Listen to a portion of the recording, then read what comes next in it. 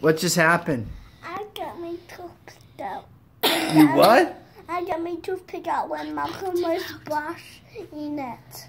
Malcolm was yeah, I was it, brushing his teeth and I was like, and then what and happened? Then I, and I pulled it back so hard that Let's it see. fell out. Oh my gosh, your first tooth. Is the tooth fairy gonna come visit you tonight? Yeah. Oh my god. Oh. Oh, stop. Stop. Oh, we need